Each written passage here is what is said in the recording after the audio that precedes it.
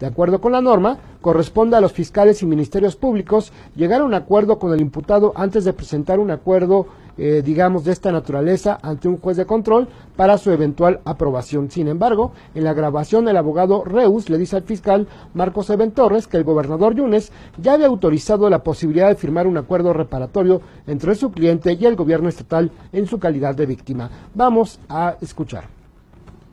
El objetivo de, la visita, este, como tú sabes, este, don Arturo Bermúdez estuvo regresando activos que se hicieron públicos.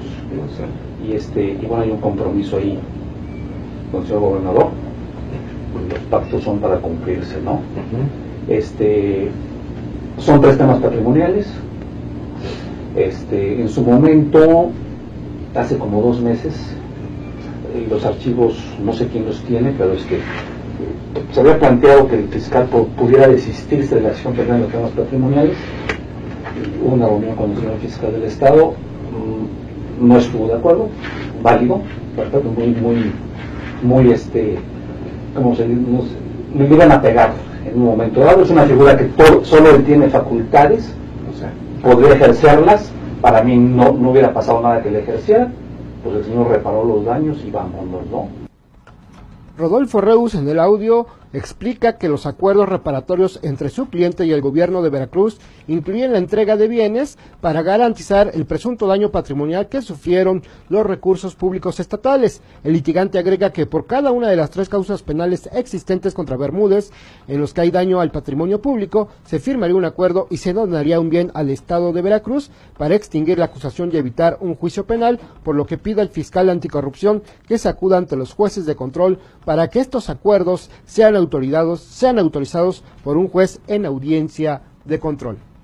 Este, el señor fiscal consultó a su gente, no sé si a ti o al licenciado Astropulido, no sé, este, que si se podían los acuerdos repartidos y se acordó que sí, uno por uno por, por, por, proceso penal, que son tres.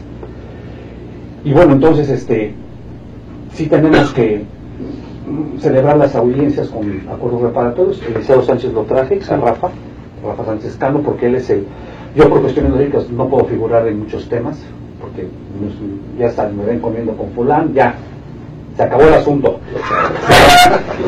se acabó el asunto, ¿no? Y entonces este, él, él podría firmar los acuerdos reparatorios con, con ustedes y, solicitar la fecha de audiencia. Este, yo en las promociones que se le presentaron al señor fiscal del Estado, vienen en cada en cada promoción los anexos donde hacen, ah, perfecto, hasta nos sobraba ahí un piquito de un cambio de 6 millones, pero ya ahí muere, ¿no?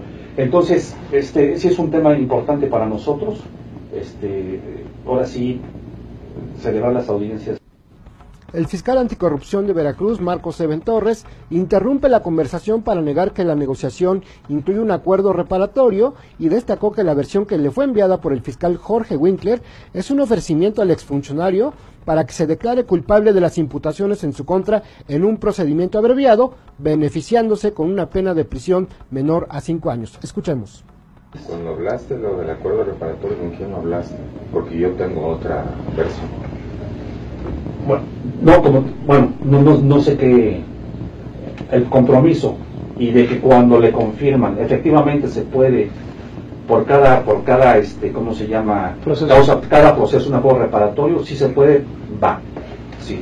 Y así es como, como inclusive el señor gobernador tiene esa idea, de terminar ya los asuntos patrimoniales. Vas a tener que dejar hablar porque lo que yo tengo para comentarte es el mismo punto del abreviado. No. Déjame comentarte ah, para sí, sí, sí, Ahora sí que yo estoy fuera de... Sí, claro, claro. Este, es el abreviado, es SCP se da por pagado y la pena sería menor a cinco años. Ante los, ah, Carmen, ante los cuestionamientos del abogado, el fiscal Torres Amudio no niega que el gobernador de Veracruz haya, haya intervenido en este proceso de negociación y antes de dar una respuesta contundente ofrece volver a consultar con el fiscal Winkler el acuerdo de palabra que ya estaba previsto. Escuchemos. Entonces tú me vienes a referir una connotación distinta. Eh, no quiero ser maleducado, simplemente te transmito la instrucción que yo tengo. Ya con esta información que tú me das, yo rogaría me permitieran revisarlo, platicarlo, para darles una respuesta a ustedes creo que es lo más correcto. Totalmente nuestro. Sí, o sea, me queda claro la perspectiva de ustedes.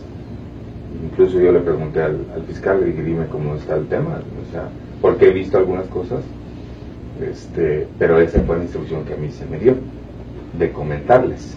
Entonces, o sea, la verdad sí estoy desconcertado y, yo, y tú también, nos contamos igual. Pero pues bueno, al final del camino a, veces este, eh, hay una cierta desinformación o no se terminan de aterrizar las cosas, déjame platicar.